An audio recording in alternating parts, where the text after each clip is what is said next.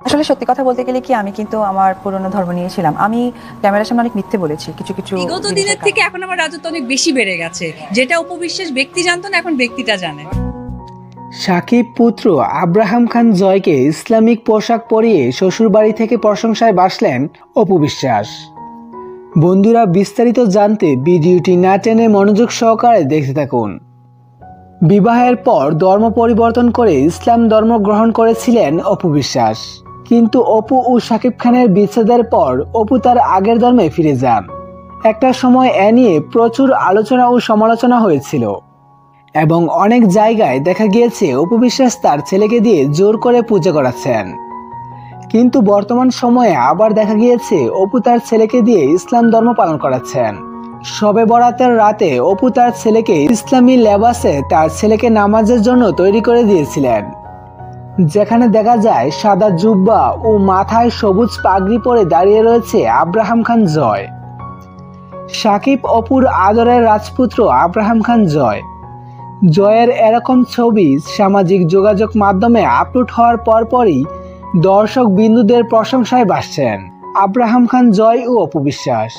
জয়কে এরকম পোশাকে দেখে শাকিব খানের পরিবারও অনেক বেশি খুশি হন। বিশেষ করে তার দাদা দাদু অনেক বেশি খুশি হন। অপু বিশ্বাসও প্রশংসায় বাসছেন।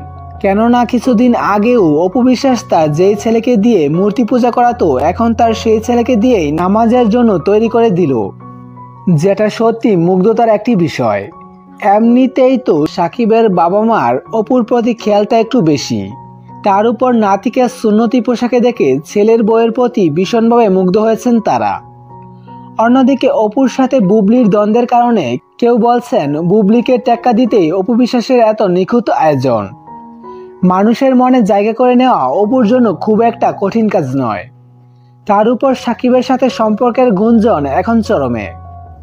সেই ক্ষেত্রে সাকিবের পরিবারে ফিরে যাওয়ার জন্যই এরকম নমুনা দেখালেন অপু বিশ্বাস। এমনটাই বলছেন অনেক দর্শকরা।